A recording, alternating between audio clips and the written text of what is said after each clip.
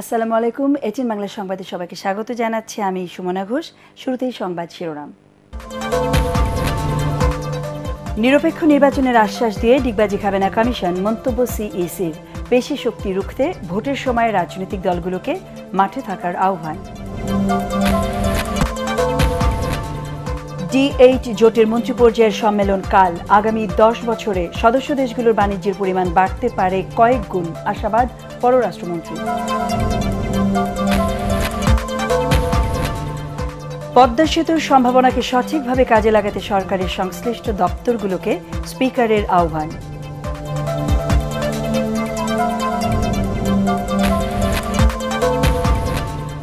এবং নভেম্বরের পর দেয়া হবে না করোনা টিকার প্রথম ও দ্বিতীয় ডোজ, বলছে স্বাস্থ্য অধিদপ্তর। অগস্টেই পাঁচ থেকে এগারো বছরের শিশুদের ভ্যাকসিন কার্যক্রম শুরু।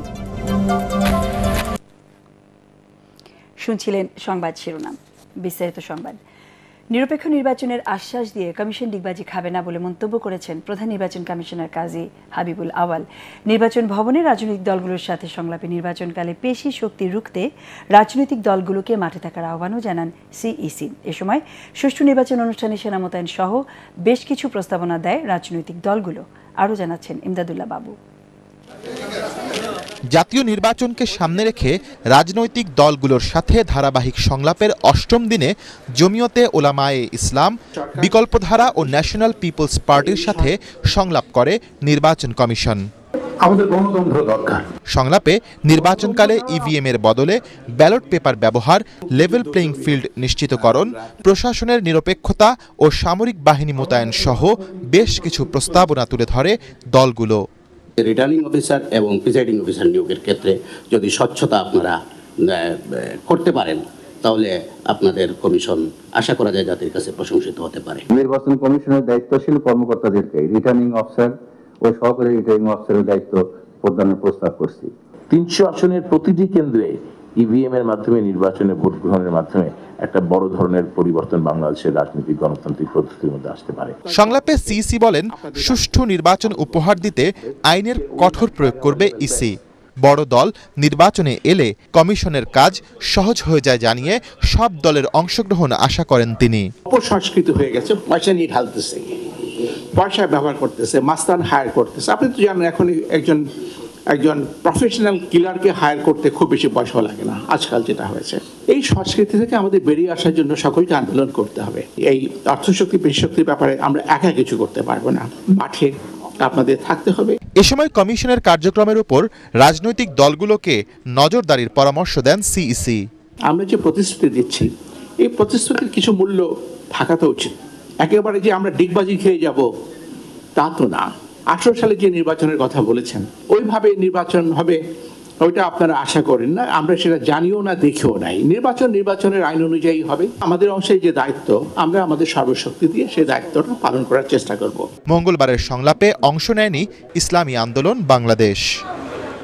ইমদাদুল্লাহ বাবু, এটিএন বাংলা, ঢাকা।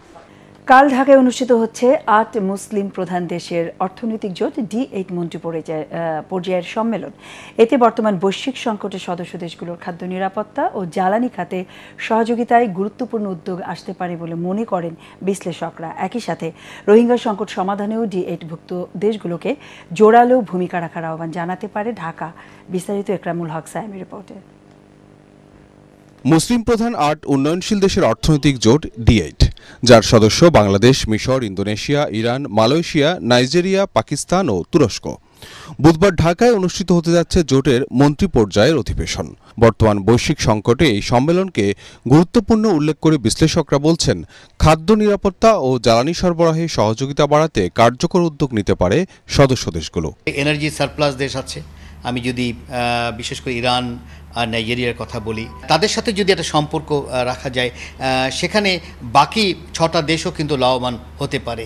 ঠিক একইভাবে আমি যদি এই আটটা দেশের মধ্যে, যেহেতু ওয়ান পয়েন্ট ওয়ান বিলিয়নের একটা দেশ সেখানে তার খাদ্য নিরাপত্তা যদি সে করতে চায় বড় আকারে, সেটা কিন্তু করা সম্ভব। কারেন্সি সোয়াপ যেটাকে বলা হয়, পারস্পরিক যে কারেন্সি আছে, সেগুলোর মাধ্যমে ব্যবসা বাণিজ্য যদি করতে পারি তাহলে এখনকার ডলার সংকট যেটা সারা বিশ্বেই আমরা দেখছি তো সেই সংকটের মধ্যেও আমরা খানিকটা আদান প্রদানটা ব্যবসা বাণিজ্যের আদান প্রদানটা বজায় রাখতে পারব। যদিও বিশ্লেষকরা বলছেন বৈশ্বিক বাস্তবতাও ও বড় জোটগুলোর প্রভাবে অনেক ক্ষেত্রে দৃশ্যমান হয় না ডি এইটের ভূমিকা। তবে জোটভুক্ত দেশগুলোর মধ্যে বড় ধরনের বৈরিতা না থাকাকে ইতিবাচক হিসেবে দেখছেন তারা। বড় ট্রেনগুলো বা বড় যে আপনি বলতে পারেন যে ধারাগুলো এখন তৈরি হচ্ছে এই প্রেক্ষাপটে ডিএড কতটা নিজের অস্তিত্ব জানান দিতে পারবে বা বজায় রাখতে পারবে, সেটা এখনই আমার মনে হয় বলার সময় আসেনি। টার্কির দিকে তাকাই, তাহলে টার্কি এমন একটা দেশ যে বিশেষ বড় আকারে আমরা দেখেছি যে ইউক্রেনের ব্যাপারে সে একটা ভূমিকা রেখেছে। তাতে যেটা হচ্ছে সেটা হলো যে এই ডি এইটের মধ্যে দেশগুলো নিজেই কিন্তু একটা পোলার হিসেবে দাঁড়াতে পারে। তাদের মতে অর্থনৈতিক জোট হলে রোহিঙ্গা ইস্যুকে সম্মেলনে গুরুত্বের সাথে তুলে ধরতে পারে ঢাকা। ডি এইটের যেটা বড় আকারে দরকার সেটা হলো মিয়ানমারের উপরে প্রেশারটা আনা। সেটা সম্ভব এই কারণে যেহেতু এখানে আবার ইন্দোনেশিয়া এবং মালয়েশিয়াও আছে। আসিয়ানের প্রেক্ষাপটে তাদের সেই উচ্চকণ্ঠ খুব যে কার্যকর হচ্ছে সেটা মনে মনে হচ্ছে না এখনও পর্যন্ত। উনিশশো সাতানব্বই সালে যাত্রা শুরু হওয়া ডি এইটের বর্তমান সভাপতি বাংলাদেশ। ইকরামুল হক সায়েম, এটিএন বাংলা, ঢাকা। আগামী দশ বছরে ডি ভুক্ত দেশগুলোর ব্যবসা বাণিজ্যের পরিমাণ এক দশমিক তিন ট্রিলিয়ন ডলার হতে পারে বলে আশাবাদী পররাষ্ট্রমন্ত্রী ডক্টর এ কে আব্দুল মোমেন। মুক্ত বাণিজ্য চুক্তি বা এফটিএ হলে দেশগুলোর অভ্যন্তরীণ বাণিজ্যের পরিমাণ দশ ভাগ বাড়বে বলেও মনে করেন তিনি। ঢাকায় দুদিনব্যাপী D eight CCI business forum ও এক্সপোর উদ্বোধনী অনুষ্ঠানে বিদেশি বিনিয়োগকারীদের বিশেষায়িত অর্থনৈতিক অঞ্চলে বিনিয়োগের আহ্বান জানান নীতি নির্ধারকরা। শারফুল আলমের রিপোর্ট। পারস্পরিক অর্থনৈতিক সহযোগিতা বাড়াতে বাংলাদেশ, মিশর, Indonesia, Iran, Malaysia, Nigeria, Pakistan ও তুরস্ক এই আট মুসলিম দেশের অংশগ্রহণে গড়ে উঠেছে ব্যবসায়িক জোট ডি এইট। পঁচিশ বছর পূর্তি ও আয়োজক হিসাবে এবার বাংলাদেশে এই জোটের শীর্ষ ব্যবসায়ীদের সংগঠন ডি এইট সিসিআই দুই দিনের বিজনেস ফোরাম ও এক্সপোর উদ্বোধন করেন পররাষ্ট্রমন্ত্রী তার মতে সদস্য দেশগুলোর মধ্যে ব্যবসা বাণিজ্য ও প্রযুক্তি বিনিময়ের মাধ্যমে অর্থনৈতিক সক্ষমতা বাড়িয়ে এই জোট আরও বেশি প্রসারিত হতে পারে by 10% and more than 100, uh, 1.2 trillion dollar within the next 10 years. we should be able to do it. We have taken some initiatives to have FTA, free trade agreement, and other trade facilitation measures. হালাল ব্যবসা বাণিজ্য তথা অর্থনীতিকে প্রাধান্য দিয়ে সদস্য দেশগুলোর মধ্যে শুল্ক বাধা দূর করা এবং বৈদেশিক মুদ্রার রিজার্ভের দুর্বলতা কাটাতে স্থানীয় মুদ্রায় লেনদেন ও ব্লক ব্লকচেনের মতো বিকল্প ব্যবসা বাণিজ্য সুবিধা বাড়ানোর জরুরি বলে মনে করছেন নীতি নির্ধারকরা cross currency soft blockchain are to explored to address foreign currency reserve vulnerabilities. To address non-tariff barriers, unified standardization and harmonization of processes among the eight nations is proposed. Bangladesh has issued the custom notification giving effect to, to the duty concession list under D8 PTA. The other notifying countries are Turkey, Malaysia, and Iran. I hope that other member countries will complete these necessary procedures for effectuation of the D8 PTA. উৎপাদন ব্যবস্থার সক্ষমতা বাড়াতে অভিজ্ঞতা ও প্রযুক্তি বিনিময়ের উপর জোর দেওয়ার তাগিদ দেন শীর্ষ ব্যবসায়ী নেতারা। এবারের সম্মেলনে বেসরকারি খাতে বিনিয়োগ বাড়ানো সহ বিভিন্ন বিষয়ে বেশ কয়েকটি চুক্তি হওয়ার সম্ভাবনা রয়েছে বলেও জানান আয়োজকরা। শরফুল আলম এটিএন বাংলা ঢাকা। পদ্মা সেতুর সম্ভাবনাকে সঠিকভাবে কাজে লাগাতে সরকারের সংশ্লিষ্ট দপ্তরগুলোর প্রতি আহ্বান জানিয়েছেন স্পিকার ডক্টর শিরিন শারমিন চৌধুরী। আমাদের অর্থে আমাদের পদ্মা সেতু বইয়ের মোড়ক উন্মোচন অনুষ্ঠানে তিনি আরও বলেন, জনগণের অহংকারের প্রতীক পদ্মা সেতু। অনুষ্ঠানে বিদেশিদের পরামর্শ মেনে অন্ধের মতো কাজ করার দিন এখন আর নেই বলে মন্তব্য করেন পররাষ্ট্রমন্ত্রী doctor A K Abdul Momen. Apel মাহমুদের রিপোর্ট। পদ্মা সেতুর স্বপ্ন পরিকল্পনা থেকে বাস্তবায়ন পর্যন্ত নানা বিষয়ে লেখা ও ছবি নিয়ে আমাদের অর্থে আমাদের পদ্মা সেতু নামে বই প্রকাশ করে চন্দ্রাবতী একাডেমি। এই বইয়ের মোড়ক উন্মোচন করেন স্পিকার, আইনমন্ত্রী, পররাষ্ট্রমন্ত্রী ও মন্ত্রিপরিষদ সচিব। রাজধানীর ফরেন সার্ভিস একাডেমিতে আয়োজিত এ অনুষ্ঠানে সেতু তৈরির বিভিন্ন চ্যালেঞ্জ তুলে ধরেন বক্তারা। একেবারেই সিরাতুল মুস্তাকিম এই কাজটা করা হয়েছে। একদম সিরাতুল মুস্তাকিম। একদম স্ট্রেট লাইন ড্র করা হয়েছে। নিজেদের অর্থায়নে পদ্মা সেতু না করতাম, তার সিগনিফিকেন্স কিন্তু অন্যরকম হতো। হ্যাঁ পদ্মা সেতু হতো, দক্ষিণ বাংলার সাথে যোগাযোগটা হতো। কিন্তু আজকে যে মর্যাদাটা, সেই মর্যাদাটা কিন্তু থাকতো না। তো আমার মনে হয়, এই যে আমাদেরকে অর্থায়ন পিছিয়ে গেছে, তারা যে আমাদেরকে তা উইথড্র করেছে, আমাদের জন্য কিন্তু এটা সাপে বর হয়েছে। আজকে আমরা সেই বঙ্গবন্ধুর কথা বাঙালিকে কেউ দাবায় রাখতে পারবে না সেই পর্যায়ে গেছি। সেতু নির্মাণে বিদেশি উন্নয়ন সংস্থার অসহযোগিতার সমালোচনা করে বক্তারা বলেন যে কোনো চ্যালেঞ্জ মোকাবেলা করতে পিছুপা হন না প্রধানমন্ত্রী শেখ হাসিনা।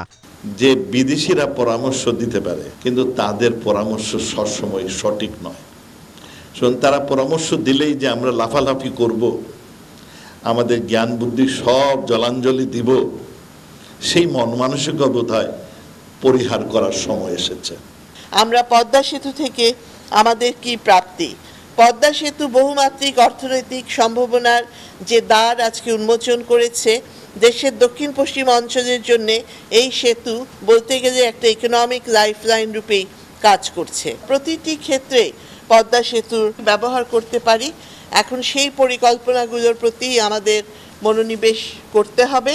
যেসব দেশ বর্তমানে মানি লন্ডারিংয়ের অভিযোগ তুলছে তারাই তথ্য গোপন রেখে সুইস ব্যাংক সহ বিভিন্ন দেশে টাকা পাচারে সহযোগিতা করছেন বলেও অভিযোগ করেন পররাষ্ট্রমন্ত্রী। আমাদের আপিল মাহমুদ এটিএন বাংলা ঢাকা। নভেম্বরের পর করোনা টিকার প্রথম ও দ্বিতীয় ডোজ আর দেওয়া হবে না বলে জানিয়েছে স্বাস্থ্য অধিদপ্তর। মহাখালীতে ইপিআই কার্যালয়ে এক ব্রিফিংয়ে এই তথ্য জানেন করোনা টিকা ব্যবস্থাপনা কমিটির সদস্য সচিব ডাক্তার শামসুল হক। আগামী মাসেই পাঁচ থেকে এগারো বছর বয়সী শিশুদের টিকা কার্যক্রম শুরু হবে বলেও জানান তিনি। রিপোর্ট করছেন নজিবুর রহমান। করোনা প্রতিরোধে এ পর্যন্ত দেশে প্রায় ১৩ কোটি মানুষকে প্রথম ও বারো কোটিরও বেশি মানুষকে দ্বিতীয় ডোজের টিকা দিয়েছে স্বাস্থ্য অধিদপ্তর। বর্তমানে এ কার্যক্রম চালু থাকলেও নভেম্বরের পর নতুন আর প্রথম ও দ্বিতীয় ডোজের টিকা দেয়া হবে না বলে সিদ্ধান্ত নিয়েছে সংস্থাটি। টিকার মেয়াদ নভেম্বরে শেষ হয়ে যাবে। নতুন করে টিকা কেনার সম্ভাবনাও নেই। তবে বুস্টার ডোজের কার্যক্রম যথারীতি চলবে। টিকার মেয়াদ যেহেতু শেষ হয়ে যাচ্ছে এই জনকে জনগণকে সচেতন করার জন্য যারা এখনও টিকা নেননি, তাদেরকে আমরা বলেছি প্রথম ডোজ এবং দ্বিতীয় ডোজ। বারো বছরের ঊর্ধ্বে সকল মানুষকে এই নভেম্বরের মধ্যে নিয়ে নিতে হবে। কিন্তু নভেম্বরের পরে আমাদের টিকাদান কার্যক্রম বন্ধ হবে না আমাদের বুস্টার কার্যক্রম চলবে। আগামী মাসের প্রথম সপ্তাহে পাঁচ থেকে এগারো বছর বয়সী শিশুদের টিকা দেওয়ার প্রস্তুতি চূড়ান্ত হয়েছে বলে জানান স্বাস্থ্য বিভাগের এই কর্মকর্তা। টিকা পেতে সুরক্ষা অ্যাপে জন্ম নিবন্ধন দিয়ে রেজিস্ট্রেশন করতে হবে বলে জানিয়েছেন তিনি। আমরা আগামী মাস থেকে পাঁচ থেকে এগারো বছরের শিশুদের প্রথম ডোজ দ্বিতীয় ডোজ শুরু করব। এখানে বলতে পারেন তাহলে তো টিকা আসতেছে। হ্যাঁ আসতেছে। কিন্তু শিশুদের টিকা কিন্তু বড়দের টিকা এক না। এটা আলাদা টিকা। এটা আমরা সংগ্রহ করছি এবং আগামী মাসে ইনশাল্লাহ এটা আমরা শুরু করার জন্য আমরা প্রস্তুতি নিয়েছি। অধিদপ্তরের হিসেবে এখনও তেত্রিশ লাখ মানুষ প্রথম ও চুরানব্বই লাখ মানুষ দ্বিতীয় ডোজের টিকা নেননি। তাদের দ্রুত টিকার ডোজ সম্পন্ন করার আহ্বান জানিয়েছেন স্বাস্থ্য বিভাগ। নজিবুর রহমান, এটিএন বাংলা, ঢাকা। করোনা সংক্রমণ পরিস্থিতি বিবেচনায় নিজ দেশে নাগরিকদের জন্য বাংলাদেশ ভ্রমণে ফের সতর্কতা জারি করেছে যুক্তরাষ্ট্র। দেশটির রোগ নিয়ন্ত্রণ ও গবেষণা সংস্থা Center for Disease Control and Prevention ভ্রমণ গন্তব্য হিসেবে বাংলাদেশকে উচ্চ ঝুঁকিপূর্ণ বলছে। সোমবার সংস্থাটির ওয়েবসাইটে এই সতর্কতার কথা জানানো হয়। ঝুঁকি বিবেচনায় বাংলাদেশকে লেভেল তিন ক্যাটাগরিতে স্থান দিয়েছে যুক্তরাষ্ট্র। সতর্কতায় খুব বেশি প্রয়োজন না হলে ভ্রমণ পরিহার করতে দেশটির নাগরিকদের পরামর্শ দেওয়া হয়েছে। নিরপেক্ষ সরকারের অধীনে জাতীয় নির্বাচনের দাবি আদায়ে ক্ষমতাসীন জোটের শরিকদের সাথেও যোগাযোগ করা হচ্ছে বলে জানিয়েছেন বিএনপি মহাসচিব মির্জা ফখরুল ইসলাম আলমগীর। চেয়ারপারসনের গুলশান কার্যালয়ে সংবাদ সম্মেলনে তিনি আরও বলেন, পর্যায়ক্রমে সবার সাথেই কথা হবে। এ সময় বিদ্যুৎ খাতে বিপর্যয়ের চাহিদার অতিরিক্ত বিদ্যুৎ কেন্দ্র নির্মাণ ও কুইক রেন্টাল পাওয়ার প্ল্যান্টকে দায়ী করেন বিএনপি মহাসচিব। চট্টগ্রাম বিশ্ববিদ্যালয়ে ছাত্রী যৌন নিপীড়নের ঘটনায় উদ্বেগ প্রকাশ করে জড়িত ছাত্রলীগ নেতাকর্মীদের বিচার দাবি করা হয় সংবাদ সম্মেলনে। এ সময় লোডশেডিং সহ জ্বালানি ও বিদ্যুৎ খাতে অব্যবস্থাপনার প্রতিবাদে উনত্রিশ ও তিরিশ জুলাই ঢাকা সহ সব মহানগরে এবং একত্রিশ জুলাই জেলা পর্যায়ে বিক্ষোভ কর্মসূচির ঘোষণা দেন বিএনপি মহাসচিব। ঘোষণা দিয়েছিলাম যে আমরা সকল রাজনৈতিক দলগুলোর সঙ্গেই আমরা যোগাযোগ করব, করছি। তো আমরা সেই ধারাবাহিকভাবে আপনার যোগাযোগ করার চেষ্টা করছি। আমরা অবশ্যই সকলের সঙ্গে যোগাযোগ করার চেষ্টা করব। বেশ কিছু সংখ্যক রেন্টাল বিদ্যুৎ কেন্দ্র উৎপাদন না করেও ক্যাপাসিটি চার্জ বাবদ বিপুল অর্থ নিয়ে যাচ্ছে। বিদ্যুৎ ছাড়াই তিন বছর সরকারকে চুয়ান্ন হাজার কোটি টাকা গোচ্চা দিতে হচ্ছে। সরকারের নিজস্ব ব্যবসায়ীদের পকেটে গেছে বিয়াল্লিশ হাজার কোটি টাকা। গত এক যুগে ক্যাপাসিটি চার্জ বাবদ গচ্চা প্রায় আট দশমিক পাঁচ চার বিলিয়ন ডলার। এদিকে সরকার পতন আন্দোলনে বিএনপির সাথে যুগপথ কর্মসূচিতে মাঠে থাকার অঙ্গীকার করেছে বিশ দলীয় জোটের শরিক তিন দল, ইসলামী ঐক্যজোট, এনডিপি ও ইসলামী পার্টি। সরকার বিরোধী বৃহত্তর ঐক্য গঠনের লক্ষ্যে বিভিন্ন রাজনৈতিক দলের সাথে বিএনপির চলমান সংলাপের ধারাবাহিকতায় চেয়ারপারসনের গুলশান কার্যালয়ে এই তিন দলের সাথে বৈঠক হয়। এতে বিএনপি মহাসচিব মির্জা ফখরুল ইসলাম আলমগীর, স্থায়ী কমিটির সদস্য নজরুল ইসলাম খান ও তিন দলের শীর্ষ নেতারা অংশ নেন।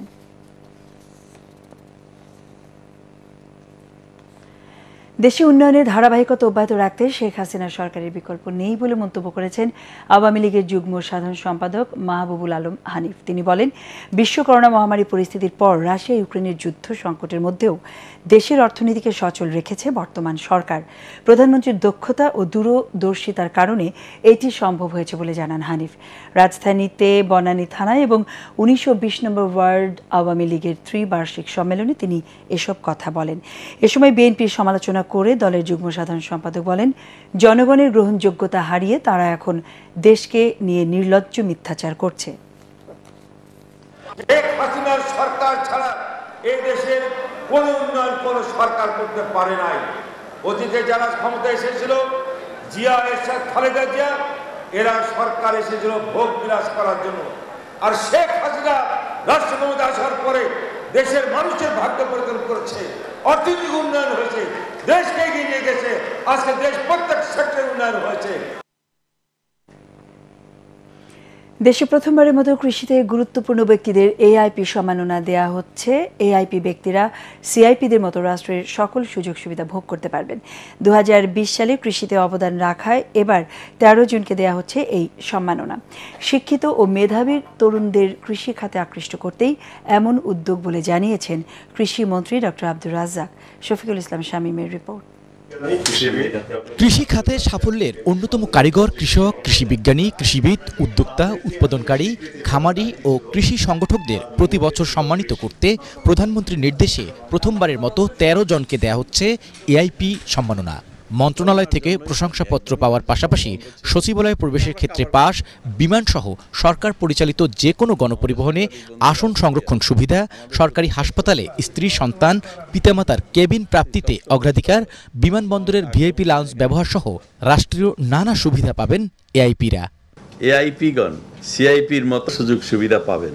এআইপি কার্ডের মেয়াদকাল এক বছর বিভিন্ন জাতীয় অনুষ্ঠান ও সিটি মিউনিসিপ্যাল কর্পোরেশন কর্তৃক আয়োজিত নাগরিক সম্বর্ধনায় আমন্ত্রণ, বিমান, রেল, সড়ক ও জনপথে ভ্রমণকালীন সরকার পরিচালিত গণপরিবহনে আসন সংরক্ষণ অধিকার এবছর কৃষি উদ্ভাবন বিভাগে চারজন, কৃষি উৎপাদন, খামার স্থাপন ও কৃষি প্রক্রিয়াজাতকরণ শিল্প বিভাগে ছয়জন, স্বীকৃত কৃষি সংগঠন বিভাগে সর্বোচ্চ একজন এবং বঙ্গবন্ধু কৃষি পুরস্কার স্বর্ণপদক প্রাপ্ত বিভাগে দুজনকে দেয়া হচ্ছে এআইপি সম্মাননা।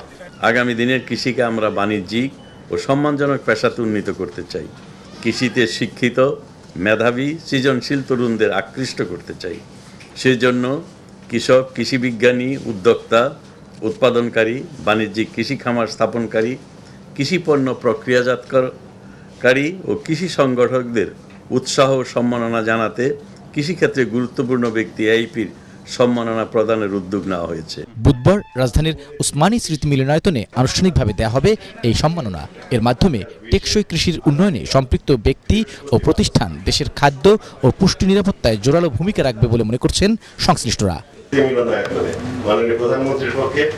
শফিকুল ইসলাম শামীম, এটিএন বাংলা, ঢাকা। আগামী একত্রিশ জুলাই থেকে চট্টগ্রামে শুরু হচ্ছে দশ দিনব্যাপী শাহাদাতে কারবালা মাহফিল। চট্টগ্রামের স্থানীয় একটি হোটেলে আয়োজিত এক সংবাদ সম্মেলনে পিএইচপি ফ্যামিলি চেয়ারম্যান ও শাহাদাত এ কারবালা মাহফিল পরিচালনা পর্ষদের প্রধান পৃষ্ঠপোষক সুফি মোহাম্মদ মিজানুর রহমান জানান, কারবালা ময়দানে শহীদ আহলে বাইতের স্মরণে সাঁত্রিশতম আন্তর্জাতিক সাদাতে কারবালা মাহফিল বাগদাদ, মিশর, মালয়েশিয়া ভারত, শ্রীলঙ্কা সহ বাংলাদেশের পীর মাসায়েক ইসলামী চিন্তাবিদ সহ মন্ত্রী ও সংসদ সদস্যরা উপস্থিত থাকবেন। নগরীর জামিয়াতুল ফালা জাতীয় মসজিদ প্রাঙ্গণে আয়োজিত মাহফিলে প্রতিদিন সন্ধ্যায় পবিত্র কোরআন থেকে তিলাওয়াত করবেন বিশ্বের শ্রেষ্ঠ কারি, মিশরের শাইখ আহমেদ নায়না। সংবাদ সম্মেলনে পিএইচপি ফ্যামিলি পরিচালক আলী হোসেন সোহাগ ও আঞ্জুমানের senior vice president Mohammad Mohsin সহ অন্যান্যরা উপস্থিত ছিলেন। বড় পিসা হুজুর দরবারের ডিসেন্ডেন্ট এবং গদিরসীন আন্তর্জাতিক মানের স্কলার সারা বিশ্বে বহুল পরিচিত মাসাল্লাহ আমাদের মন্ত্রী পরিষদের অনেক সদস্য বাংলাদেশের। ভারতে দার্জিলিংয়ের মতো বিশ্বমানের চা উৎপাদন হচ্ছে পঞ্চগড় সহ উত্তরবঙ্গের পাঁচ জেলায়। বছরে প্রায় দেড় কোটি কেজি চা উৎপাদন করে এরই মধ্যে ছাড়িয়ে গেছে অতীতের সকল রেকর্ড। তবে ক্রেতাদের সিন্ডিকেট আর পাতা নিলাম কেন্দ্রের অভাবে ন্যায্য দাম থেকে বঞ্চিত হচ্ছেন বাগান মালিকরা। আপেল মাহমুদের আরেকটি রিপোর্ট, ক্যামেরায় ছিলেন নিরঞ্জন দেব বর্মা। বাড়ির সামনে নার্সারি বা সবজি চাষ নয়, এখন সবার আগ্রহ চা বাগানে। বর্তমানে পঞ্চগড়ে শুধু উঠানেই চা চাষে জড়িয়ে পড়েছেন সাড়ে সাত হাজার ক্ষুদ্র চাষি। সমতল জমিতে শস্যের পরিবর্তে চা চাষ লাভজনক হওয়ায় এটির মাধ্যমে উত্তরবঙ্গের পাঁচটি জেলায় শুরু হয়েছে অর্থনৈতিক উন্নয়নের নীরব বিপ্লব। পঞ্চগড়ের সমতল ভূমির চা আবাদ এখন ছড়িয়ে পড়েছে পাশের ঠাকুরগাঁও, নীলফামারী, লালমনিরহাট ও দিনাজপুরে। তিন পাতা এক করি চার পাতা এক করি পাঁচ পাতা এক করি এই পাতাটা অ্যাডজাস্ট করে যদি আপনি এই পাতাটার ভালো মানের চা বানান, আমাদের শিলিগুড়ির চা আমাদের এই তেঁতুলিয়ার চার সাথে পাবেন। চা বোর্ডের তথ্য মতে, বর্তমানে পাঁচটি জেলায় প্রায় এগারো হাজার চারশো চৌত্রিশ একর জমিতে চা চাষ হচ্ছে। নিবন্ধিত বড় চা বাগান রয়েছে নয়টি ও অনিবন্ধিত একুশটি, আর ছোট নিবন্ধিত এক হাজার সাতশো পঁয়তাল্লিশটি ও অনিবন্ধিত আট হাজার সাতষট্টিটি বাগানে চা চাষ হচ্ছে। দুই হাজার একুশ সালে দেশে চা উৎপাদন হয়েছে নয় কোটি পঁয়ষট্টি লাখ ছয় হাজার কেজি। এর মধ্যে উত্তরবঙ্গের পাঁচটি জেলায় উৎপাদন হয় এক কোটি পঁয়তাল্লিশ লাখ চল্লিশ হাজার কেজি চা। দুই হাজার বিশ সালে উৎপাদন হয় এক কোটি তিন লাখ কেজি চা। উৎপাদন বাড়লেও পাতার ন্যায্য দাম না পাওয়ার পাশাপাশি শ্রমিক সংকট ও রোগবালাই নিয়ে অসন্তোষ প্রকাশ করেন বাগান মালিকরা। সব কিছু জিনিসের দাম বেশি এখন আমরা লেবার পাই না। মানে সব সংকটের জন্য আমাদের যারা ক্ষুদ্র চা বাগান মালিক রয়েছে আমাদের অনেক আমরা অসহায়ের ভিতরে আছি। সিন্ডিকেটের কারণে আমরা ন্যায্য মূল্যটা আমরা পাচ্ছি না। চায়ের পোকামাকড়ের উপদ্রব খুবই বেশি। এখানে চায়ের মশা লাল মাকড় এবং রিসেন্টলি লুপার ক্যাটারপিলার বিশেষ করে এই তেঁতুলিয়া অঞ্চলে লুপার ক্যাটারপিলার এক ধরনের পোকা আছে। এই পোকায় চা গাছ খেয়ে নষ্ট করে ফেলতেছে। নতুন করে পাতার দাম নির্ধারণ ও চায়ের মান উন্নয়নে সরকারের পদক্ষেপের কথা জানান পঞ্চগড় জেলা প্রশাসক। আমাদের এখানে যখন চা নিলাম কেন্দ্র হয়ে যাবে তখন কিন্তু আমাদের চা চাষিরা মানে অনেক লাভবান হবে। এই মাসেই আমরা আবার বসবো বসে আবার সব স্টেক হোল্ডারের সঙ্গে কথা বলে আবার আমরা চায়ের মূল্যটা নিয়ে কথাবার্তা বলব। বর্তমানে উত্তরবঙ্গে চা প্রক্রিয়াজাত করতে স্থাপন করা হয়েছে বাইশটি কারখানা। চা উৎপাদনে দেশের মধ্যে দ্বিতীয় অবস্থানে রয়েছে পঞ্চগড়। এখানে উন্নত মানের চা উৎপাদন হলেও একদিকে বাজারজাতকরণের সমস্যা, অন্যদিকে পোকামাকড়ের আক্রমণের কারণে ব্যাহত হচ্ছে চা উৎপাদন। প্রশাসন সুদৃষ্টি দিলে এ সমস্যা দ্রুত সমাধান সম্ভব বলে মনে করছেন চা শ্রমিকরা। আপেল মাহমুদ, এটিএন বাংলা, পঞ্চগড়। আল আরাফ ইসলামী ব্যাংক অর্থ সংবাদ।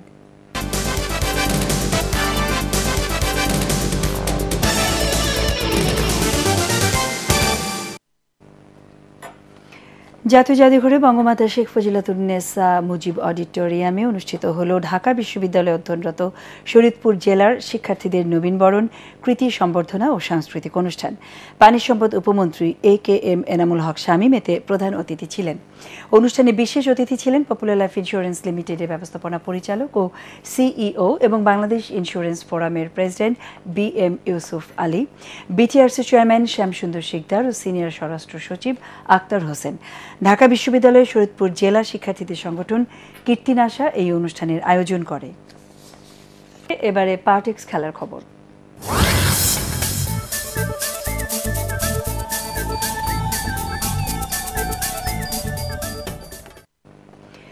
বাংলাদেশি ক্রিকেটারদের পাওয়ার হিটিংয়ের সামর্থ্য নেই বলে মনে করেন জাতীয় দলের অলরাউন্ডার শেখ মেহেদি হাসান। সামর্থ্যের আরও উন্নতি করা সম্ভব বলে জানান তিনি। তবে সেটাও রাতারাতি পরিবর্তন হবে না বলে মন্তব্য করেন শেখ মেহেদি হাসান। দেশের হয়ে চৌত্রিশটি টি টোয়েন্টি খেলা এই ক্রিকেটার মনে করেন। সামর্থ্যের বাইরে চেষ্টা না করে নিজেদের শক্তি অনুযায়ী কৌশলী হওয়া প্রয়োজন। এজন্য পাওয়ার হিটিং কোচের প্রয়োজনীয়তা অনুভব করছেন মেহেদি। জিম্বাবুয়ের উদ্দেশ্যে ঢাকা ছাড়ার আগে মিরপুরের সাংবাদিকদের সাথে আলাপকালে তিনি এসব কথা বলেন। বেসিক্যালি দেখেন, আমরা বাংলাদেশে, আমরা আসলে কেউই পাওয়ার হিটার না। আমরা কেউ চাইলে আন্দ্রে রাসেল বা পোলার্ড হইতে পারব না। তো আমাদের এবিলিটির ভিতরে যতটুকু আছে, ওইখান থেকে আমাদের ইমপ্রুভের মানে ইমপ্রুভ যতটুকু করা যায় এবিলিটির ভিতর থেকে।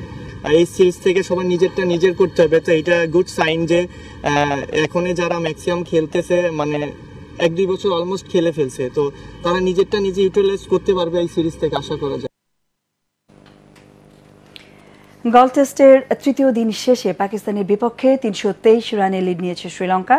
আগের দিনের সাত উইকেটে একশো একানব্বই রান নিয়ে ব্যাটিংয়ে নেমে দুশো একত্রিশ রানে থামে পাকিস্তানের প্রথম ইনিংস। জবাবে দ্বিতীয় ইনিংসে ব্যাট করে পাঁচ উইকেটে একশো ছিয়াত্তর রান তোলে লঙ্কানরা। দলের পক্ষে সর্বোচ্চ পঁয়ত্রিশ রান করেন অ্যাঞ্জেলো ম্যাথিউস। অধিনায়ক দিমুথ করুণারত্নে সাতাইশ এবং ধনঞ্জয় ডিসেলভা তিরিশ রানে অপরাজিত আছেন।